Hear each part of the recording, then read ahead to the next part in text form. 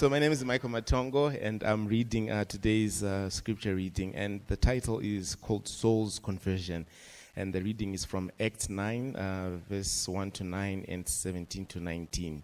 Uh, so it reads Meanwhile, Saul was still breathing out murderous uh, threats against the Lord's disciples. He went to the high priest and asked for letters to the synagogues in, in Damascus, so that if he found any there who belonged to the way, whether men or women, he might take them as prisoners to Jerusalem. As he neared Damascus on his journey, suddenly a light from heaven flashed around him. He fell to the ground and heard a voice say to him, Saul, Saul, why do you persecute me? Then he asked, Who are you, Lord? So, so asked, sorry. I am Jesus whom you are persecuting. He replied, Now get up and go into the city, and you'll be told what you must do. Um, verse 7. Um, then the, the men traveling with Saul stood there speechless. They heard the sound but did not see anyone.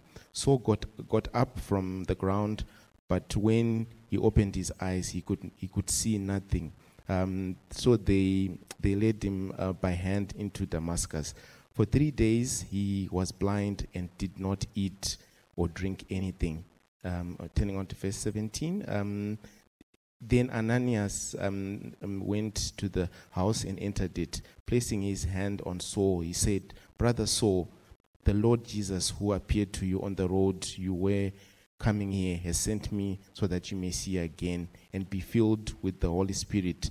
Immediately, something like scales fell from Saul's eyes, and he could see again. He got up and was baptized, and after taking some food, he regained his strength. This is the reading of God's word. Amen. Fam, we're starting a new series today. And the name of the series says it all. There you go Basic Discipleship. Why do we have this series? Because we are a disciple making church. We remind ourselves of this every single Sunday. You guys should know it by now. As the gospel transforms the individual life of a person, we want to see a multiplying effect of that, and we believe that happens best by the making of disciples. Questions How do we know if the gospel transforms someone? Have you ever thought about that? How do we know if it has a multiplying effect? Because we say, as it transforms, we want to uh, see it have a multiplying effect. How do we know? How do we know, in short, if we are making disciples?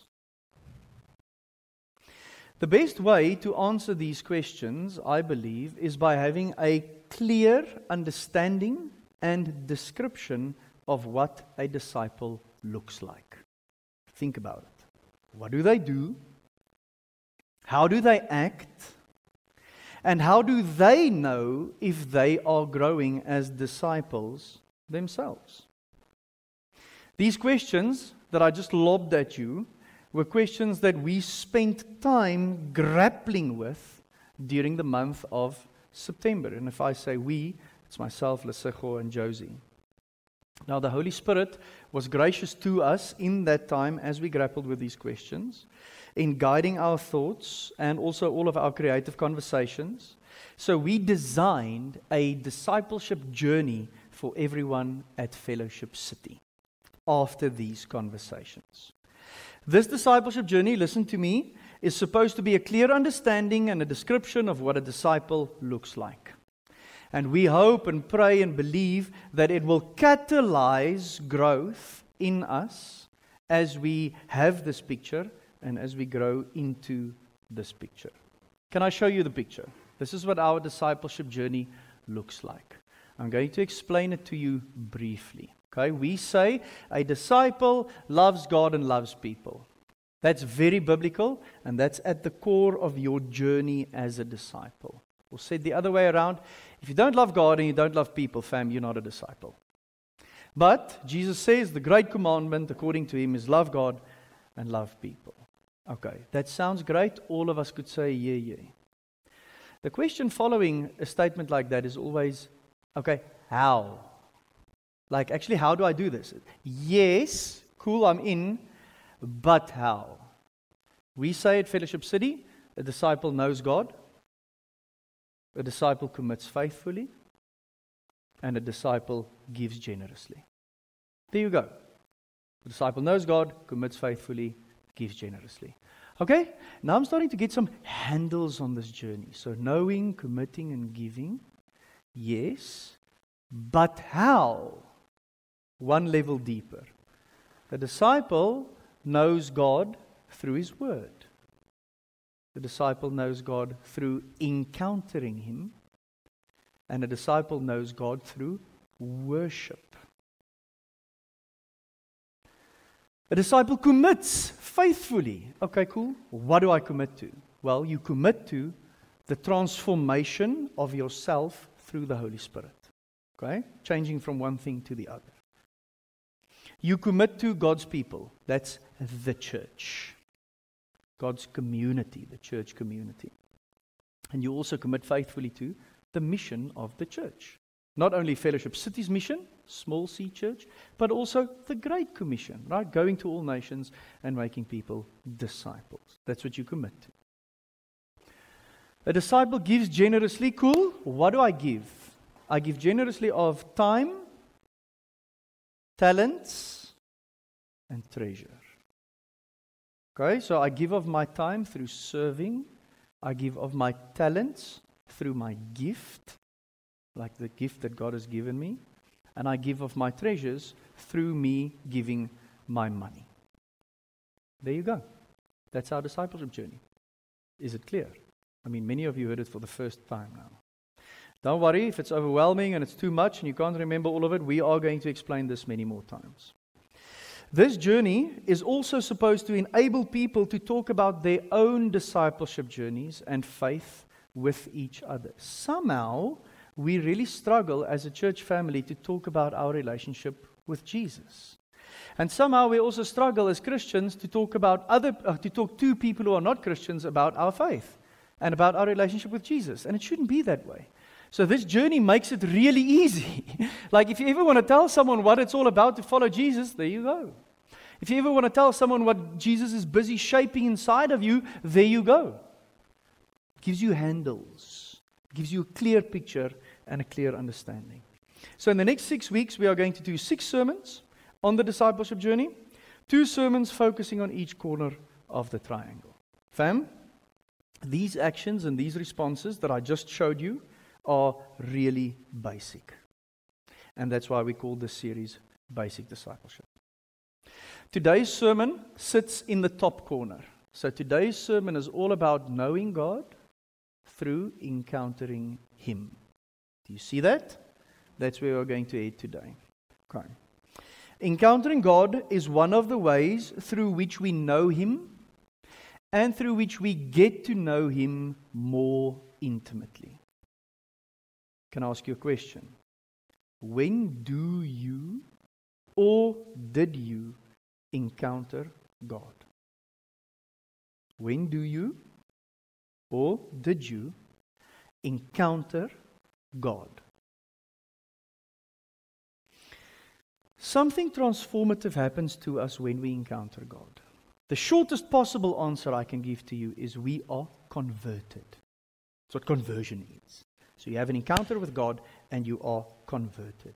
Now, this story of Paul that Mike read to us, uh, the story of Paul's conversion, helps us to see a pattern of how this happens. Right? So we are in the book of Acts. The book of Acts, historically, or in terms of the biblical timeline, is after Jesus' birth, life, death, resurrection, and ascension. It's before his return.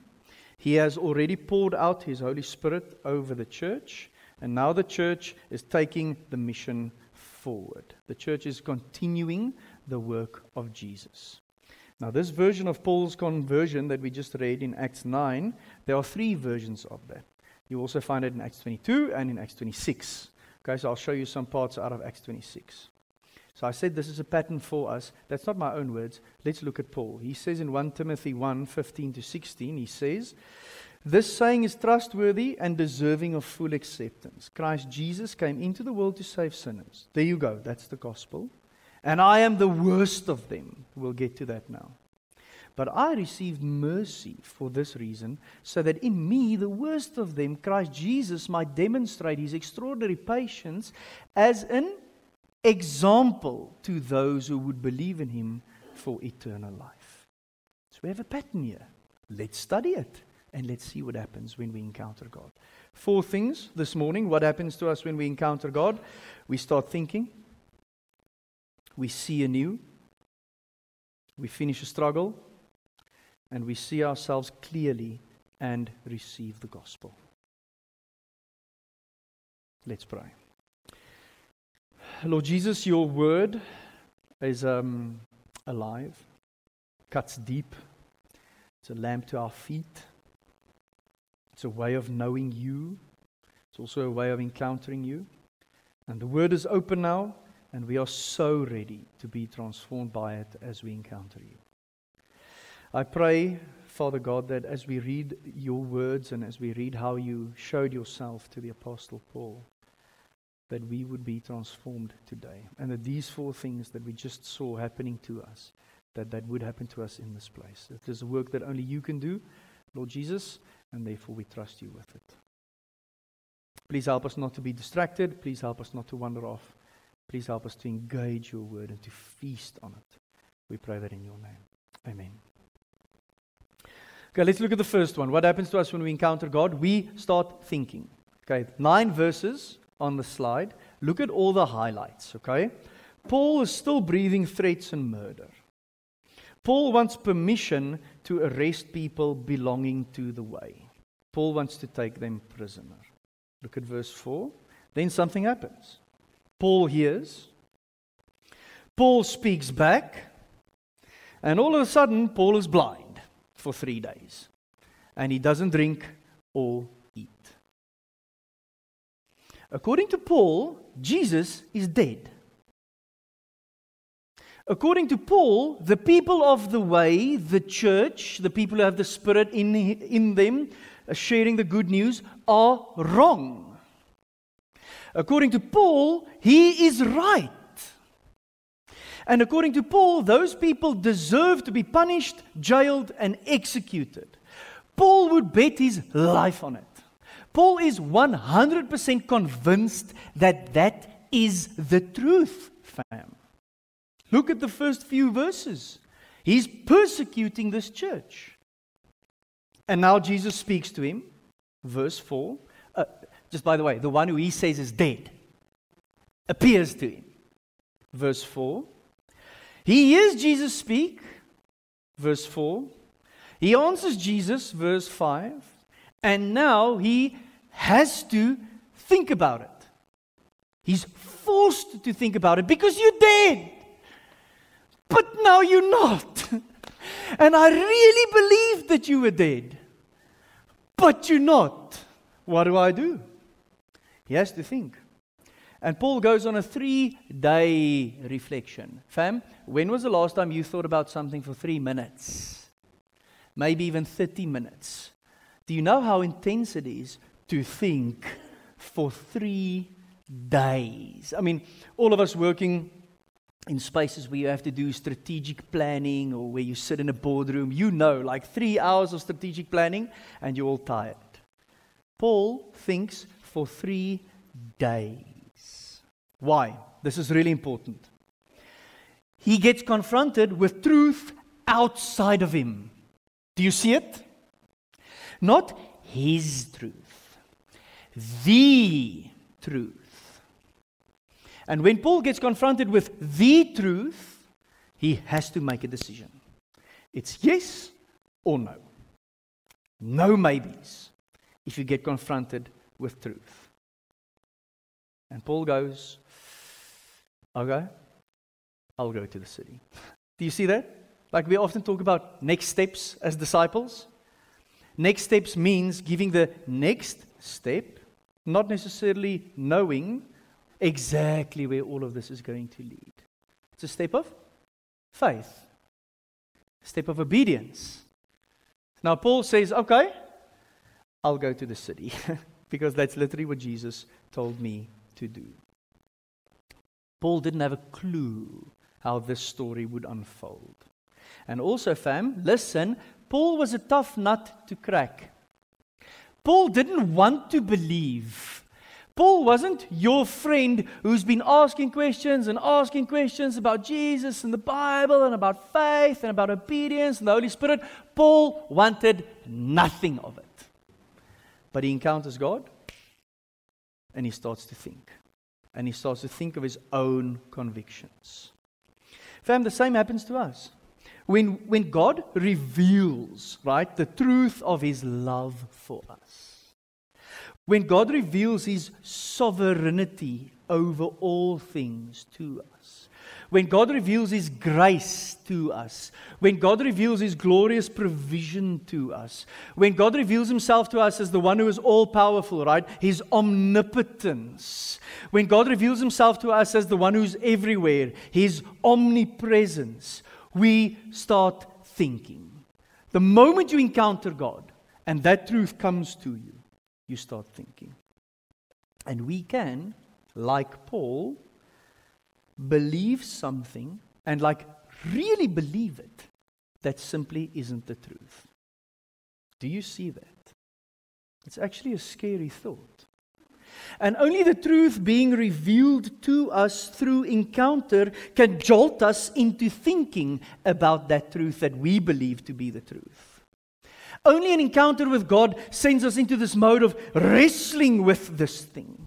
Only an encounter of, with God leads us to a place where we say, I have to make up my mind about this. Right?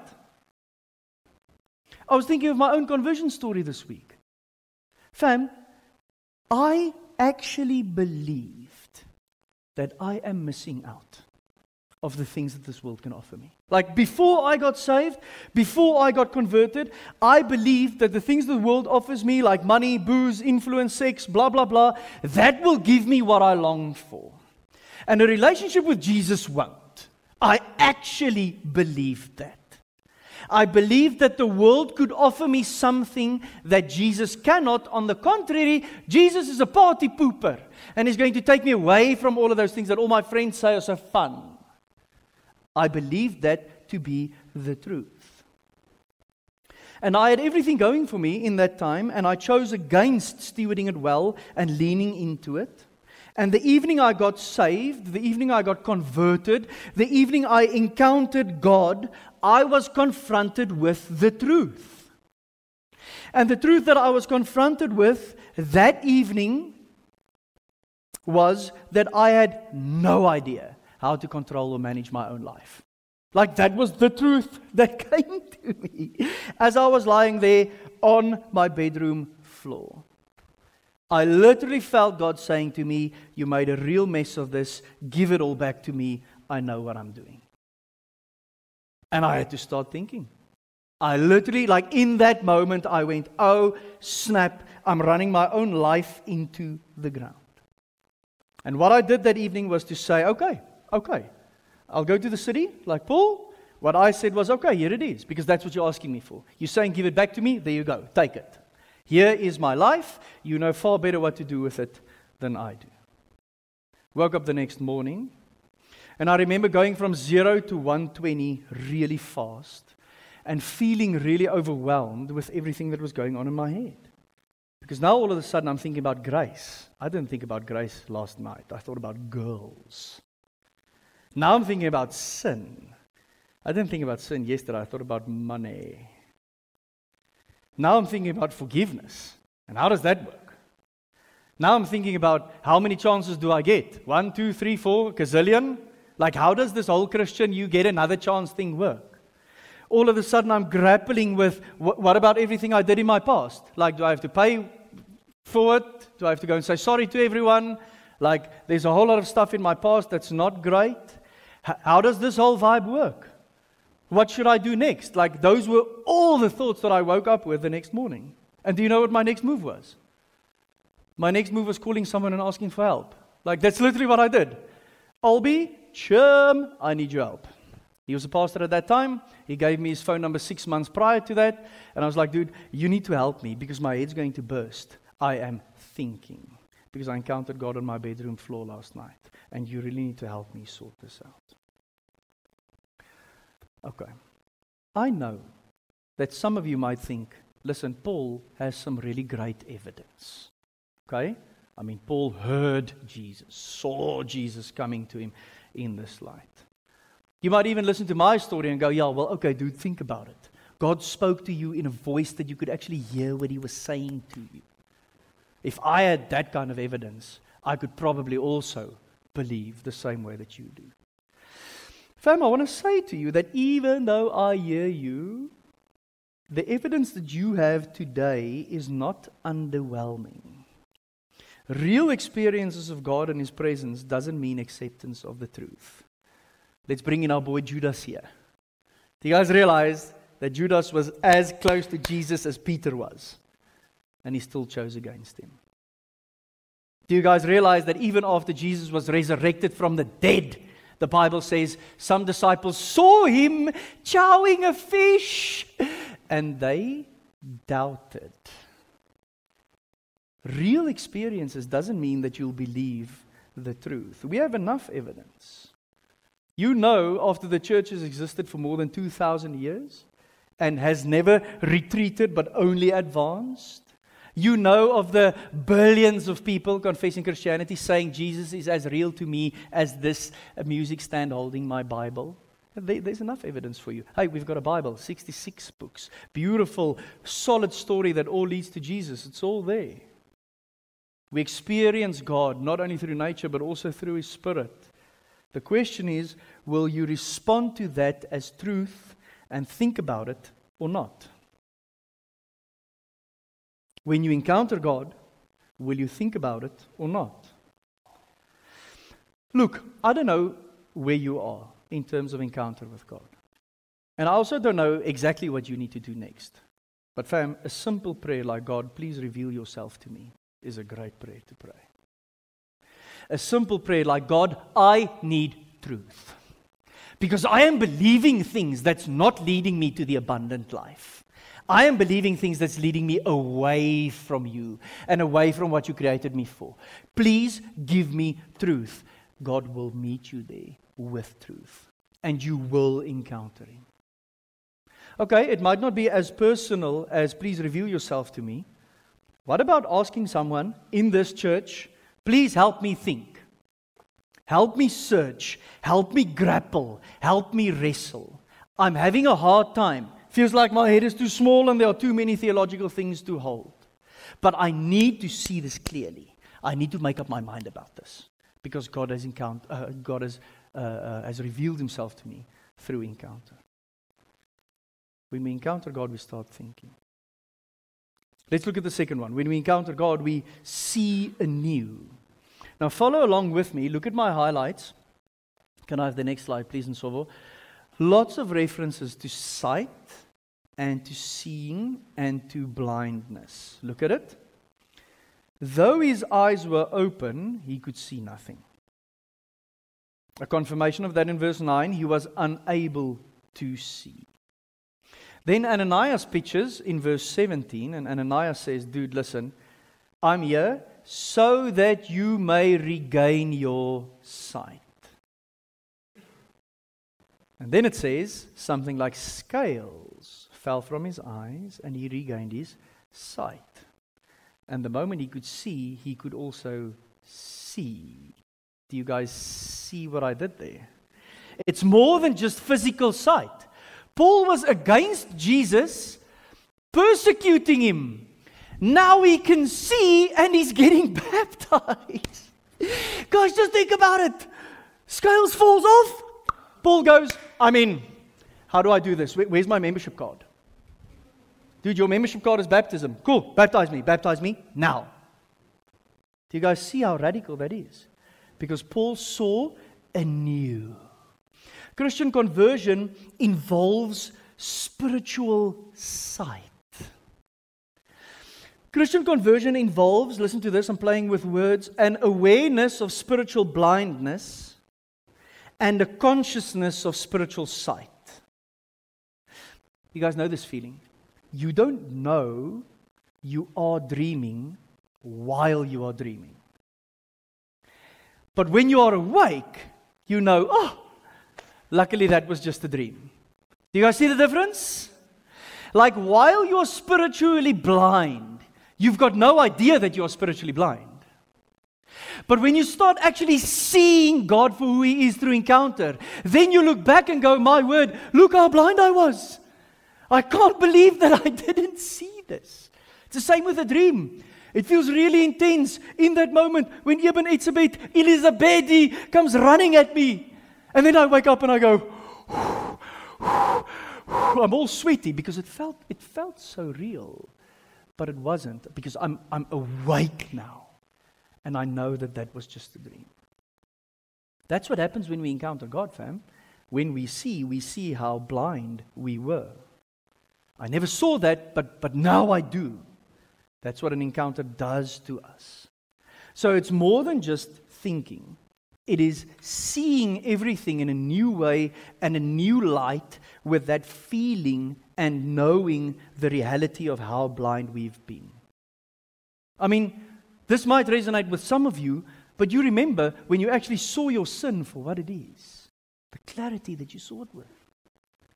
When you saw the lies of the evil one for how it is. When you saw how far you've wandered from God's path, you see it clearly. All of a sudden, you see how futile your priorities are. All of a sudden, you see how caught up you are in your own agendas and your own desires. That's what happened to the brother, Paul. And that's what happens to us when we encounter God. And for three days, this is what Paul was busy with grappling with these things. And then he says, I've been blind, but now I see my life in a whole new way. And not only that, I can now see that others are blind and I have to help them see. See? See. That's also, yes. Acts 26, 15 to 18. Read it with me. So, this is Paul telling his story of conversion again, adding details that we don't have in Acts chapter 9. Okay? So look at verse 15. That's the same as in Acts 9. Who are you, Lord? And the Lord replied, I'm Jesus, the one you are persecuting. Okay, lekker, get up and stand on your feet. Yes, that's also Acts chapter 9. But then look at this. Jesus says something else to Paul that we don't find in chapter 9. He says, I appeared to you for this purpose to appoint you as a servant and a witness of what you have seen and will see of me. I will rescue you from your people and from the Gentiles. I am sending you to them to do what? Look at verse 18. To open their eyes, so that they may turn from darkness to light and from the power of Satan to God, that they may receive forgiveness of sins and a share among those who are sanctified in faith by me. They are blind, Paul. They need to see. You were blind. Now you can see. Help the blind to see. I'm sending you to them. I don't know what's on your prayer list. But when was the last time you prayed a prayer like this? God, what do you want to show me? What do you want to show me? Or, say differently, what do you want to open my eyes to? Fam, what a prayer. What a prayer. Why not pray it? Like, if you don't feel like you've seen anew, if you don't feel like you've encountered God and that has given you way new sight, pray that prayer. Show me. Open my eyes. Maybe a prayer isn't enough for you as a next step. What about this one? What about you approach someone who you know and love, hopefully, if you're married, it's your spouse, and you say, What am I not seeing? Help me. Like, what am I not seeing? What am I blind to that's keeping me in darkness? I know that that sounds very scary. I know. But, fam, if we are committed to our own growth, if we are committed to our own discipleship, we have to have the courage to ask this question You guys know I'm a runner. I need to go to my coach and say, Coach, what do I need to work on? Because I know I'm not a perfectly well rounded athlete. What do you see, coach? I need work on. And then if he says, Dude, we need to work on your speed, do you know what I do? I don't look at him and say, I cannot believe that you have the audacity to tell me that I'm slow. No. I say, Thanks, coach. Show me the way. Give me the program. I want to do what you said because I want to be a better athlete. Why not try that? Ask someone close to you, what am I blind to? When we encounter God, we see anew. When we encounter God, we also finish a struggle. Let me tell you what I mean. Look at uh, the slide. It's got verse 4, 5, 9, and 18. It's kind of a summary of Paul's struggle. Okay? Paul struggled with the Jesus movement. And Paul persecuted the Jesus, the Jesus movement to put it to an end, to nip it in the bud. And twice, Jesus says, Paul, you are fighting with me. Have you guys ever had that feeling in an argument? That you think that at the moment you're staying calm, and then the other person says, Don't fight with me. And then you go, I- am not fighting with you. I'm just saying. And the other person goes, No, no, no, listen. Take it a few clicks down. You're fighting with me. That's what Jesus says to Paul Paul, you're fighting with me. You're fighting with me. You're fighting with me. For three days, Paul went, Snap, I am fighting with you. And then all of a sudden, Paul's not fighting anymore. Do you see that the struggle is finished? Something changed through an encounter with Jesus. Okay. Now, Paul adds a really important detail in Acts chapter 26 in this specific part of his story. Look at it with me. It's just verse 14, Acts 26. Paul says, We all fell to the ground, and I heard a voice speaking to me in Aramaic. That's an added detail. Saul, Saul, why are you persecuting me? We've read that. And then there's this beautiful line it's hard for you to kick against the goads. So Paul says, that's what Jesus said to him. Jesus said to him, Why are you persecuting me? It's hard for you to kick against the goads. So, what, what are goads? Goads, well, a, a goad or goads, it's a stick that's got a sharp point. It looks like a spear. And it's something that shepherds would use back in the day to go, yeah, don't walk that way, walk that way. So it's something that a shepherd uses to create pain and discomfort for their creatures that they're looking after. Why? Because they like hurting them? No. It's because of their own good. Think about it, fam. A nice little herd of sheep going down uh, a very steep mountain or hill. The shepherd would go, You are going to die over there. Yeah, yeah, yeah, yeah, yeah, get back, get back, get back. Do you see that? Now, obviously, the sheep have a little jump because it's painful, man. You know, it's not like a dog. Hey, come here, man, come here. It's not how it works. Hey! It's a prod. It's, it's uncomfortable. It's pain. But you'll die there if I don't save you through causing you pain. The moment of, of encounter or the moment of conversion might seem really sudden, right, from the story we have. It might actually feel sudden if you think of your own story. But when you reflect on it, you'll see that before any encounter, there's a struggle.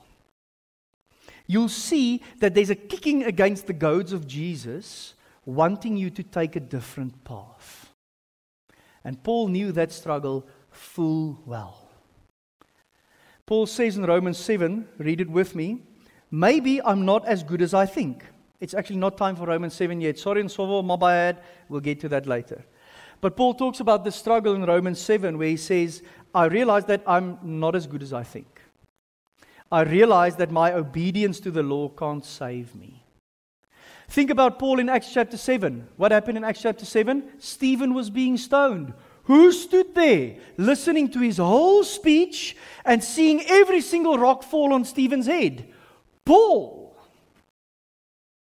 And what did Stephen say? Your obedience to the law cannot save you. There's only one name by which you can be saved, and that is Jesus Christ. And Paul goes, Stop it, stop it, stop it. It's painful. It's causing me discomfort. It's pushing me to a side where I don't want to go because I'm realizing that Jesus is calling me closer, but I'm kicking against it. Have you ever seen a sheep kick? Unbelievable. I mean, ball of wool, and then all of a sudden they go into gymnastics posture. Whop! That's what kicking against the goads is. And Paul says these things are causing me pain. I'm struggling. I know I'm on the wrong path. But instead of surrendering to Jesus, kill him. That's kicking against the goads. Jesus has long called Paul back, but Paul didn't want to listen. Who do you think gave Stephen's speech to Luke to write? Paul. It's the longest speech we have in Acts. Paul went, Luke, listen, that day, it all changed for me. That was my moment. Like I just, I couldn't kick against the goads anymore. Here's what Stephen said. And then Luke goes, in Acts chapter 7, I mean, it's a work of art. It's phenomenal. That was the moment for Paul. Let me ask you a few questions. What are your deepest struggles and fears at the moment? What are your deepest struggles and worst fears at the moment? Are you struggling with your identity? And therefore looking for it in your work and not finding it there? Is your biggest struggle idolatry? Right? You're worshipping marriage. And then when you're at odds with your spouse, your whole life falls apart. Is your idolatry money? And then the moment you lose money, your whole life crumbles. Can you see how all of those things are goads bringing you back to Jesus because you're trusting in something other than Him? Then you don't get the promotion. You don't get the applause in the boardroom. Your investment doesn't work out and you lose your money. Your marriage is a much harder graft than you hoped. All of those things, if you worship those things, are goads. They are pain and discomfort through which Jesus is bringing you back. Stop worrying about what the boardroom thinks of you. Get back to me. Because you're running off looking for the approval of man. You'll die there because no one will ever be happy with you, fam. That's goads.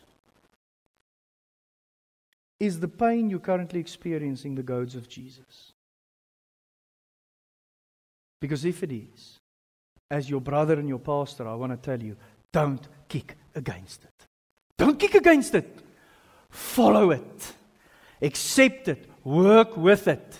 Follow the pokes. An encounter with God brings us to this moment where you say, okay, I am done kicking against this. I am now going to follow, I will obey, and this settles the struggle. You see that? Paul was baptized in verse 18. I'm done struggling, done kicking against the goads. If I think of my own conversion story, fam, I was in two really bad car accidents. I totaled two cars. Those were goads. That was pain and discomfort bringing me back. When I lived overseas, we were in so many street brawls where we were absolutely battered by other oaks. And then you wake up the next morning in bed and you go, My word, it's, I'm bloodied everywhere. I've got roasties. What on earth is going on? One evening we had such a bad street brawl that it almost cost me my job overseas and my accommodation. The landlord said, That's it, pack your stuff and go. All of those things were goads, painful, not pleasant. But God, through that, saying to me, You need to stop this. Any wrestling fans in the house? Okay, tough crowd. You guys know the sport of wrestling, right? Whether it is Olympic style jumpsuits, Greco Roman wrestling, sumo wrestling, or really hardcore WWE. There's something in wrestling called a submission hold. Well, you get that in UFC as well. A submission hold is when someone has you in a grip and they've got you. And you know, you know, you know you're not going to get out of that grip. But you struggle and you struggle and you struggle until eventually you tap out until eventually circa. That's me. Fam, listen. If Jesus has you in a submission hold, you're not going to break it. I promise you. He is much stronger than you. He calls Paul twice.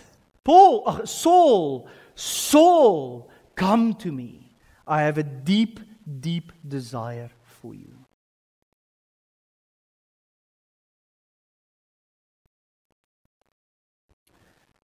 Lord Jesus, are you goading me? What a prayer. What a prayer. I mean, Jesus knows your pain, He knows your struggle. But maybe today you see it in a way new light. Ask Him Are you goading me? Are you causing me pain and discomfort because I'm on the wrong path? Ask your trusted confidants in the Christian community Am I kicking against the goads? Sometimes you wouldn't see it, but someone standing outside might see you kicking against the goads. Ask them Am I resisting God's work in my life? Am I kicking against the goads? Let's go to the fourth one. I'm almost done. What happens to us when we encounter God? We start thinking, we see anew, we finish a struggle, and here's the last one we see ourselves clearly and we receive the gospel. Uh, look at the highlights again with me. We've seen verse 4 and verse 5. Paul is fighting with Jesus. Bad fight to pick. Do not do it. You will lose. You will not cross start and uh, receive 200 Rand, right? You cannot win a fight against Jesus. Okay, so Paul fought against Jesus. What do you think Jesus did back to Paul? Do you guys remember those old TV games where someone would stand there reeling and then the game would say, Finish him. And then Raiden would slide in Mortal Kombat. Is that what Jesus does? Finish him. Absolutely not. Jesus puts him back together. Yes, yes for grace, yes for the gospel. Look at it. The Lord Jesus, who appeared to you on the road you were traveling, has sent me to you so that you may regain your sight, and He wants to live inside of you. Fam, when was the last time you invited one of your enemies to come and share a house with you? That's what Jesus does through His grace. Jesus goes, okay, so now that this fight is settled, I want to move in in, in. I don't, I don't want to be close, I want to be in you. What a moment. Here's the thing when we encounter God, we see ourselves clearly and we receive the gospel. Do you know what that means? That means that in that moment of encounter, here's what you say Look at what I've done. And then, look what He's done. That's the gospel. That's the encounter moment. I realized up until this point in my sermon, I haven't quoted anyone. So let me quote the guy who taught me that I always have to have a quote in my sermon, Tim Keller. Here you go. The gospel is this we are more sinful and flawed in ourselves than we ever did believe. Let's just stop there. Fam, what do you think Paul thought about for those three days? That he didn't eat or drink and he couldn't see. Oh my word, what have I done? What have I said? Who have I told? Who have I taught? How have I been wrong? Stephen shouldn't have died. Stephen should be alive. I was wrong. There you go. You're more flawed than you ever did believe, fam. And, and, yes, for an and. Yet, at the very same time, we are more loved and accepted in Jesus Christ than we ever did hope. Paul elaborates on this, seeing himself clearly and receiving the gospel. Let me just show you, apart from Romans 7 from the New Living Translation. Paul says, I've discovered this principle of life that when I want to do what is right, I, inevitably, I inevitably do what is wrong. I love God's law with all my heart, but there's another power within me that is at war with my mind. And this power makes me a slave to the sin that is still within me. And look at him. Oh, what a miserable person I am. Who will free me from this life that is dominated by sin and death? Thank God. The answer is in Jesus Christ our Lord. So you see how it is. In my mind, I really want to obey God's law, but because my sinful nature, I am a slave to sin. Every time you encounter God, you see yourself clearly. You realize how broken and sinful you are, and you receive God's love anew. Maybe today that's your moment. Maybe today the moment for you is appreciating both of these things again and anew. Maybe this is something, can I just have the Keller quote back on, please, and so Maybe this is something that you have to come back to. Maybe this is something that you've forgotten. Maybe today is your day in which you say, Yes, I believe that. I believe that. I trust it with all my weight. Do not kick against the goads if today is your day. Do it. Do it now. Amen. I want to give us a, an opportunity to respond. Okay? We are here now. The Spirit has moved among us. We heard God's word.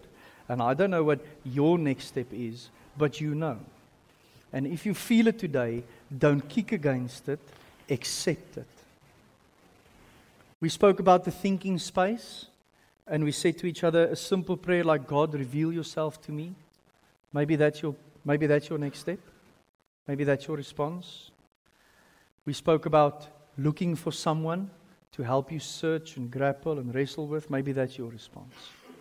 I am going to pray for everyone responding this morning. Okay? I just want to walk through them. We spoke about the seeing part of encountering God.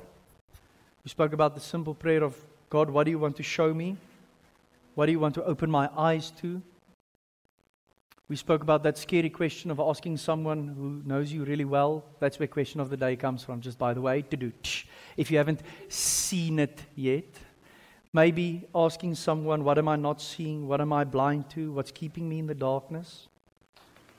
Fam, maybe the struggle in your life is real today. Maybe your response to this message is Lord, are you goading me? And am I kicking against it? And lastly, we spoke about a response that says, Yes, I believe, I trust, I heard it, this settles it. The gospel, I saw myself clearly this morning, and I received the gospel again. If you are any of those people, I want you to close your eyes because I want to pray for you. And then after we've prayed, we'll sing.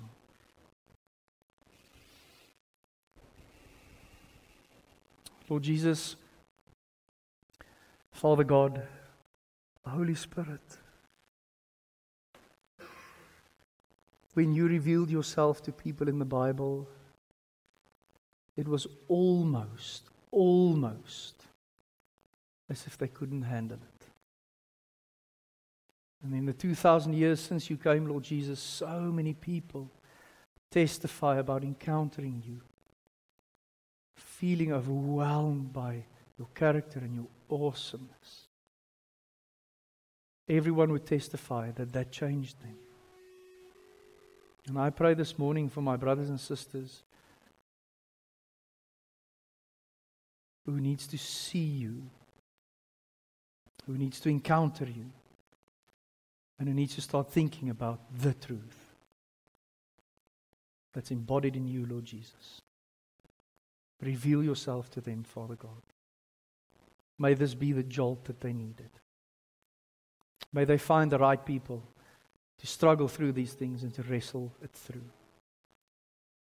For all of us who need to see, I think of the old worship song, Lord Jesus, open the eyes of our hearts so that we can see you. Help us to see others who are blind. Help us to help them see. Show us, Lord Jesus, what you, what you need to show us.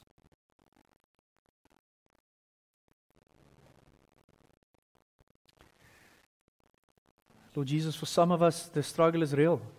And the struggle is so intense and it's so complex. We might not even be able to know what we're struggling with, but we know that we're struggling. I want to thank you for being a loving and a good shepherd, and that you goad us, that you save us from the cliff, and that you save us from death, even though it sometimes comes with pain and discomfort. We are willing to take it, Lord Jesus. And I'm praying for my brothers and sisters who might be there this morning, knowing that you're goading them, they would stop kicking against the goads. Lord Jesus, thank you that we are more loved than we ever, ever, ever could imagine. Thank you that you came to live inside of us, even though we were your adversaries, we were your enemies. We were persecuting you like Saul. Thank you for your grace and for your mercy. We believe that your death on the cross counts for us and that it frees us from this life of sin, that you are the answer.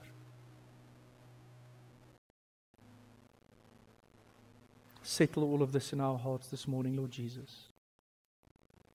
And may we be transformed. May we encounter you. May we know you. We pray that in your name.